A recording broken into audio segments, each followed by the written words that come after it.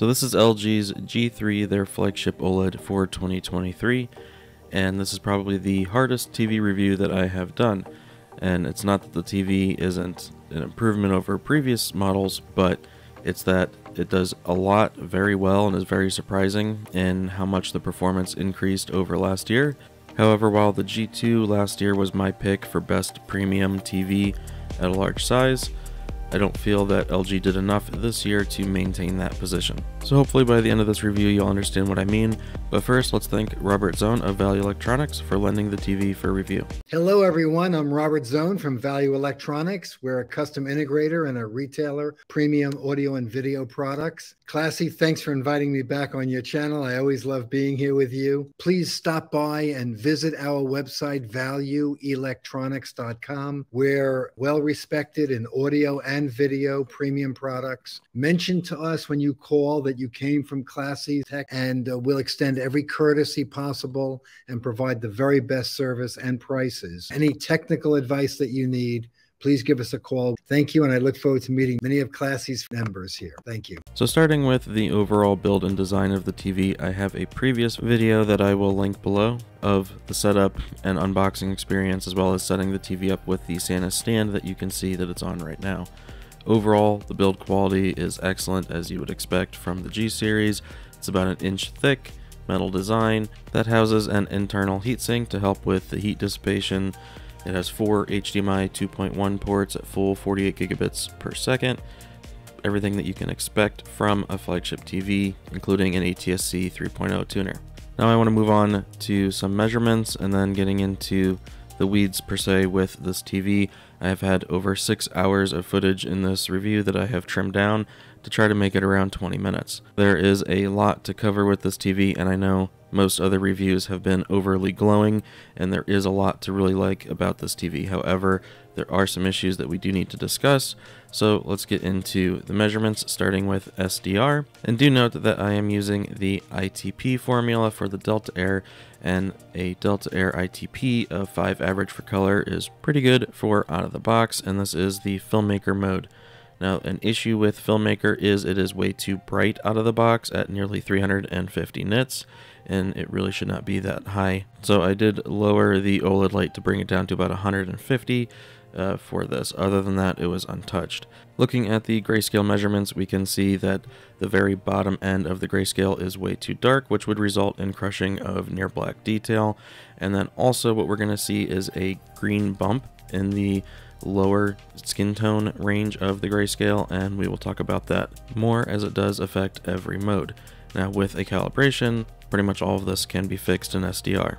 Where 2 and under on IRE is still a bit too dark, but other than that, everything's under a 1.5 of ITP air. Moving on to HDR, we can see the peak luminance is around 1360, 1370, with around 210 nits full field. The EOTF tracking is very good out of the box. However, we again see as we get closer to black, it again is too dark, leading to crushed shadow details, and in that lower mid-range we do still have the positive green grayscale air. Once again with calibration the grayscale can be fixed, however in HDR a 3D LUT is not an option, only a matrix LUT and that did seem to make some of the colors worse and we will talk more about the color in HDR later in the video. Now as we move into Dolby Vision Cinema we can see out of the box same issue with the green in the skin tone range of the grayscale and even more significant crushing near black, and with the calibration, while it can mostly be fixed, there is a touch more crushing in Dolby Vision post-calibration than there is in SDR or HDR. And then finally, for actual peak luminance in real content using a custom test on the new Spears and Munsil disc that will vary the APL of the screen while measuring a small highlight. You can see we get about 1400 nits peak in a best case scenario, but as we increase the average picture level brightness of the rest of the scene, meaning the scene around the highlight gets brighter, we do see more drops and we can see that it drops as low as about 600 nits in the highest APL scenes and this represents how aggressive the ABL of the TV is. So overall, this represents approximately a 40% brightness increase over last year's G2, which is probably one of the largest increases for year over year improvement in luminance. Overall, the TV does get very, very bright for not just for an OLED, but for any TV currently. While LCD models with mini LED or full array local dimming can measurably be brighter, a lot of the time that local dimming is also restricting itself. So in actuality, in real content, the G3 is as bright as any other TV available in the majority of scenes. Only the highest of APL scenes will certain LCDs get brighter. When it comes to color in HDR, the panel has not had an increase in color gamut. It's still around 75% of BT 2020. However, considering most content is graded within the P3 color space, which this has essentially full coverage of, there's no problem there. And only at the outer edge and the highest luminance do you start to see some drop in that color. So overall color is also far improved over the previous WRGB OLED models. However, as you do approach that very edge of P3 and with high luminance, that is where QD OLED still will show its strength. However, there are other positives to QD OLED over this WRGB panel, and while the G3 using MLA or micro lens array has greatly improved its overall performance over its predecessor, the G2, it does still lag behind QD OLED in a few key areas. The first, as I just mentioned, was the color luminance is obviously going to be higher on a QD OLED as well as the color gamut, and then the overall luminance stability and lower ABL or being able to maintain bright highlights in high APL scenes still remains an advantage on QD OLED, but the biggest advantage for QD OLED has to be the uniformity. So uniformity, while being improved over the G2, is still an issue with the G3. And there are multiple aspects to panel uniformity, starting with the vertical banding, which is still a panel to panel lottery, and then we move into the tinting of the display.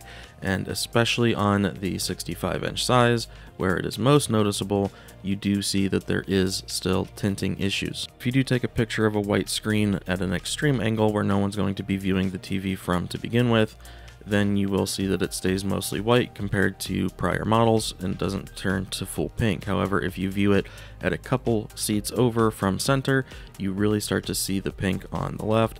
And if you are centered, you do still see some issues where it can be cyan, pink, white, to the point that it even causes actual measurable error. So measuring different areas of the screen in both 2000 and ITP formulas, we can see large errors. And then if I just focus on the left third and the right third, we can see while the center is calibrated and very accurate, the left and right sides have very noticeable errors with the right side being an increase in delta error of around 2 average and the left side being an increase of around 4. Now, most people probably not too big of an issue, and especially if it's your main display and you're not comparing it to something else, you probably won't notice it. It also varies on panel size. If you get a 77 inch, the errors, while still there, will not be as bad as they are on the 65. Moving on from that, I want to talk about some handshake issues that I experienced and just overall bugs and usability. This will not affect everyone, and chances are you won't experience this. However, I did, so I do want to report on it. You can see I got static a lot of the time, turning off deep color seemed to fix it, but then you couldn't use certain features in HDR and such, so that's not a solution. Also, I've had issues with different inputs being incorrect, like here the Xbox is plugged into the AVR going to HDMI 2, not going into HDMI 3 like it says. There's also issues where it will show a DVD player connected and repeat itself showing multiple of the same HDMI port saying DVD player when that's not the case as there is no DVD player connected. Just random weird issues like this, and this is stuff that the G2 suffered and prior LG models suffered as well until they eventually got fixed with firmware updates. I also had the issue with the Xbox where it would fail handshake going into HDR, and then you would have to go back to the dashboard and relaunch the game over and over. But again, these are random issues that you may or may not experience. Moving on to reflections, so in SDR with the brightness down at night level, you can see a lot of reflection coming through, of course. You can also see how the reflections turn a reddish purplish color, uh, kind of reminiscent of the first gen QD OLEDs last year. But now as I increase the SDR brightness going into different picture modes, so if I go to ISF bright, I have it set to approximately 300 nits, and then cinema is full SDR brightness, with peak brightness on high, you can see it really does mask out that reflection quite well, uh, especially in the brighter scenes. Of course, darker scenes, no TV is going to be able to beat a reflection. And while there are complaints about the black level being raised with ambient light, not just on this but also on QD OLED, it's really a non-issue for a couple of reasons. The first being your eyes will still perceive black when there is light in the room and it's not quite fully black. As long as it's very dark, your eyes won't be able to distinguish the difference. Then the difference between the G3 and a QD OLED is a QD OLED will spread the light through the entire panel, while on the G3, most of that light will only spread out so far and then stop, so the entire panel does not raise. Now, moving back into what I was discussing earlier with that green bump in the grayscale, that area where that happens is where the skin tones are. So when watching content, if you are used to either an accurate display or your TV does not have an overly blue out of the box look that you have currently, when you go to the G3, you can be seeing skin tones and other things in that range, and the green will stand out. Green is the worst of the colors to have a positive air on. It is what our eyes are most sensitive to. Also, when watching dark scenes or dark content, because of the TV being too dark near black, you do lose out on a lot of shadow detail. And again, compared to what you possibly have now, that may be more noticeable to you. All right, now we're going to go into some processing, and with low bitrate content, the G3 excels very well. And then moving on to motion, again, no issues with motion, very clean. And if you are someone who does use the true motion or motion smoothing, motion interpolation type features, again, it's very clean with less artifacts than most other TVs. Now, as with all sample and hold displays, panning shots can exhibit some motion issues for some people. However, this is definitely still one of the best available displays. Moving on to smooth gradation, there is some gradient handling, minor issues I would say. However, using low smooth gradation, you shouldn't have any issue. As far as sharpness, clarity, detail, it's all excellent at 4K with no visible artifacts. And even at HD being upscaled, it is very clean overall. Again, now going back to the motion with a synthetic test, we can see the cinematic movement, natural and smooth movement are available options, or you can use your own setting in a 10 point scale. Now, as you increase the interpolation, it will cause some artifacts. However, in real content, those artifacts are harder to see than they are on this pattern. Using a dejutter of 1 is very similar to what cinematic movement is, and then for natural, it is very similar to about a 7. Now, most people will probably be fine if you are someone who will use the interpolation setting, setting it to about a 2 or a 3 or just using the cinematic movement. However, in high contrast areas, you can still see some shimmering in the motion when there is panning, unless you have dejutter all the way up to 7 or use the natural setting. And the dejutter will be the interpolation effect for lower frame rate content, so 24, 25, 30. Deblur is a setting for higher frame rate content at 50 or 60 hertz, like some sports would be. So if you're trying to adjust for a movie, doing anything with deblur will not help you, it will not do anything.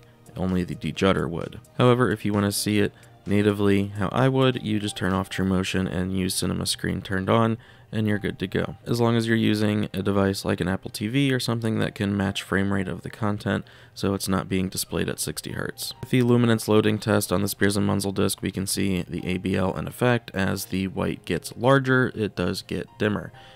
Another good thing with LG is there's absolutely no clipping to worry about out of the box as long as you're in one of the accurate modes. Now in Dolby Vision, you have the option of Cinema and Cinema Home. Cinema Home will be a overly brightened option that is not accurate, but it is designed to be used with the AI brightness turned on to be Dolby Vision IQ in a bright room. However, it's still not going to be accurate. However, if you are watching Dolby Vision content in a very bright room, it's designed to brighten up shadow areas to make it more visible. New this year is an expression enhancer setting. Again, this is not for accuracy, and if you do use it, the detail setting will lower the brightness in the lower mid-range, and the brightness setting will raise the brightness in the upper mid-range. Using this with dynamic tone mapping on HDR can result in a very bright image for a very bright room or if that's your preference. If that is something you want, I would suggest using the Cinema Home setting in HDR10 as that is going to be the brightest mode with dynamic tone mapping turned on. And if you are looking for accuracy and you're using Filmmaker, dynamic tone mapping on is not accurate and it will need to be turned off. Looking again at Cinema and Cinema Home, with real content in a show, you can see how it overbrightens all aspects of the image with Cinema Home. Now what I want to try and show is going to be quite difficult to see, but this is post-calibration with HDR10 versus Dolby Vision in a very, very dark scene. Overall, it is extremely similar and very close. However, if you look at the areas that are the darkest but not quite black, you can see less detail with the Dolby Vision, more detail with HDR10, and that is trying to show how I showed with the measurements earlier that after calibration, Dolby Vision continues to crush some detail near black. This is something LG has been made aware of, so whether it is fixed or not, I can't say, but it's possible that it could be. Now we're going to move into some gaming, and we can see if we look up into skies, especially at 120 Hertz, how color gradients are an issue and there is posterization in the sky and it is quite noticeable. We can see color rings, banding throughout pretty much the entire sky, regardless of if you're in game mode or the other modes when ALLM is on, and then the smooth gradation feature does not work in any of these modes when auto low latency is on. This has been an issue with LGs for years, so don't expect anything to change with this. Uh, then something that I have gotten requests about is to try and show VRR flicker more. So here is loading into Sea of Thieves. If you look especially around the edges of the screen, uh, this is a prime example of when the frame rate is constantly fluctuating with VRR on. You do get VRR flicker, however this affects all VRR displays, so it is not anything negative towards the G3, but there has been requests to show it in the reviews. So now we're going to move on to another issue with color, and if you look at the bottom here, this is measuring P3 saturation at the typical measurement of 50% stimulus, and it looks as you would expect, which is pretty good. However, as we measure lower stimulus or lower luminance in the colors, we do see it really starts to fall apart. This is a quite noticeable issue in content, and it affects all picture modes in HDR and Dolby Vision. It just does not do well with lower luminance color, and with no 3D LUT ability in HDR, there's no way to correct it. Now, on the other side, when you go even higher, so up to 70 or 75% stimulus and are measuring P3, this is where things get interesting. In game mode, you do not get the boosting of the color luminance like you do in the non-game modes. So as color gets towards the outer edge of the P3 color gamut and is supposed to be bright, in game mode there is a significant difference compared to being outside of game mode. In previous models, there has always been a discrepancy in how the game mode was to keep input latency low. However, with the G3, that difference is much larger and much more noticeable. And because someone will ask, Dolby Vision game mode, even with a calibration, cannot be made accurate, and I do not recommend using it. So as a demonstration that's going to be a little hard to see, if you look at this table around the flickering light of the candle, you can see where there is banding and rings of different color that is basically pulsating. That is from the low luminance saturation issue. And I do have a YouTube short showing that a little bit better next to the S95C. And then if we look into this fire, we can see the issue with the game mode not being able to push the color luminance as much. And Filmmaker is calibrated using a hard clip to mimic what HGIG does, and game mode is also calibrated as well. Now, an issue that is if, if your TV is not calibrated and you are in a mode that's not game mode, then your tone mapping is going to go up to 4000 nits. And if you set a lot of games to 4000 nits, then your shadows are greatly raised and you don't have really good darks in your games anymore. It also means your highlights won't be as bright and defined as they are in game mode using HGIG. So while you do get color luminance, you do have other sacrifices that you have to make. Also using dynamic tone mapping to on has a great impact on the color. So when I switch to Cinema Home, that is set to dynamic tone mapping on. Cinema is set to a regular roll off and Filmmaker is set to the hard clip. So as I toggle through here, you can see what's happening. Now some games will have the ability to increase the brightness of highlights without affecting the rest of the image or the shadows, but it's pretty, say, mixed 50-50 probably, uh, at least for the games that I have tested. So some games you should be okay, and then other games it probably wouldn't be that great to use filmmaker mode. Also, whenever you are outside of game mode, you have to have an ALLM supported device and have ALLM turned on, otherwise the input lag would be way too high. But even with ALLM on, outside of game mode is going to increase input lag a little bit.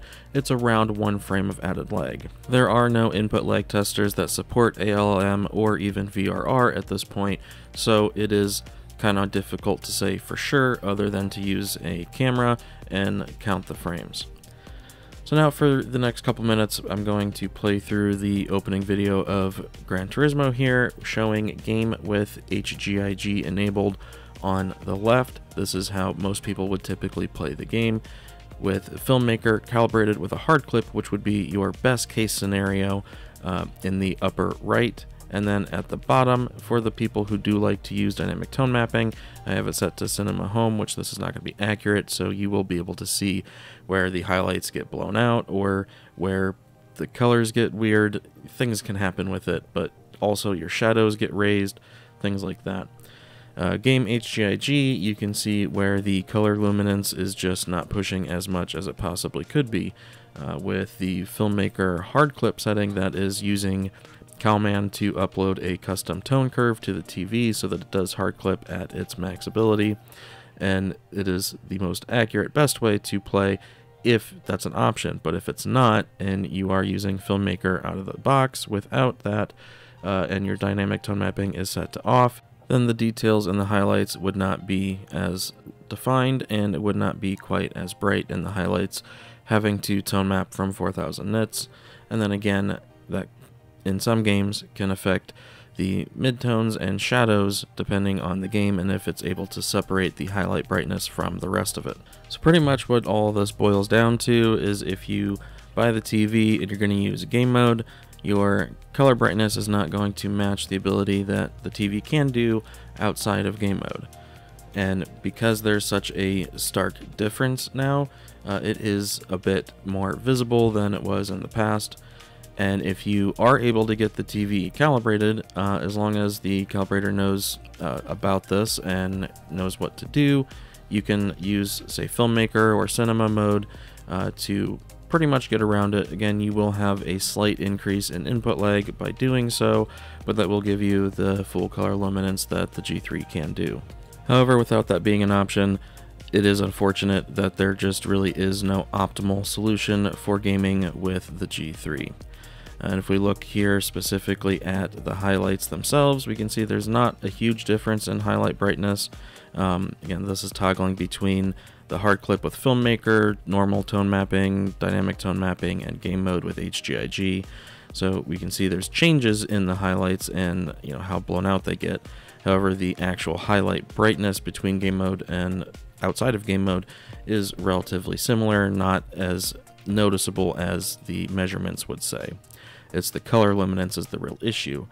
Here, trying to show the difference with the input lag when switching between game mode and a different mode while using auto low latency. Again, it's very, very slight for most people. This should be absolutely fine. Do keep in mind that end-to-end -end latency in most games is around anywhere from 50 to 150 milliseconds, so one more frame is not that big a deal. However, on the Nintendo Switch, where ALLM is not supported, uh, then in a situation like this, the input lag is much more noticeable. Um, hard to say exactly how much more, it's, but it is around two to three more frames of input delay. Some people probably still be okay with it, but the only reason you would want to do that on the Switch is if you wanted to increase your luminance more, as an SDR, in game mode, you're limited to about just over 300 nits, uh, because game mode does not let you use peak brightness, and when it's at 100 OLED brightness, it's still not as bright as other modes. Now, if you do have ALLM on and you're in SDR, you still can't use the peak brightness setting. However, going to 100 OLED brightness in a different mode is brighter than game mode, so you can get closer to about 400 nits or so, which with the S95C above calibrated so that it's not clipping, it's not that far off of being as bright as that in SDR gaming. Other comparisons comparing the SDR brightness like that in gaming uh, usually don't have correct exposure and also contrast is set too high so it is clipping. Once that's corrected, next to the S95C, of course it's still a little bit brighter at peak in SDR game mode over the G3. When in a different mode besides game mode using ALLM, you can get it pretty close and in most bright rooms it will be more than bright enough for most people. But then completely outside of gaming, going back to TV and movies, SDR on the G3 can get as high as over 600 nits and it is extremely bright, more than bright enough for all but the most brightest of sun-soaked rooms.